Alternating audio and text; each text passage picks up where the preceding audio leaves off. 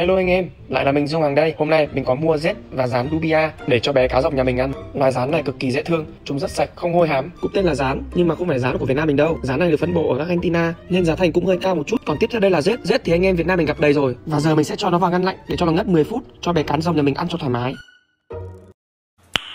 Nice. Ok, đủ 10 phút rồi, mở ra xem thế nào. Ồ, có vẻ đơ đơ đơ rồi đấy. Mà mình nhớ đợt trước thằng em mình có bị rất cắn. Nó bị tụt huyết áp, phải nằm mất 15 20 phút mới tỉnh dậy được. Nên anh em nào có đang nuôi hoặc hay cho cá rồng ăn thì cứ cẩn thận vào nhé. Mình gắp lên như thế này, nó đang ngất thôi chứ không phải chết anh em. Ok, thả thôi nào. Này, ăn đi. Úi giời, đớp luôn. Và mình cũng nuôi được hơn 2 tháng rồi. Đây là lần đầu tiên ăn rết chứ bình thường mình toàn cho ăn tôm với cả ăn chạch thôi. Vì căn bản đợt này mình có đọc được bài viết là cá rồng ăn rết thì sẽ rất là sung và màu sẽ cực kỳ lên. Ờ, không biết có phải không nữa mà mình cứ thử thôi. Tội gì phải không anh em? Một con rết như này 30 nghìn đấy một bữa ăn nó bằng bát phở của mình rồi mà người ta bảo là một tuần nên cho ăn hai con một tháng 8 con ui rồi thế thì à, cạn ví ok bye bye anh em nhé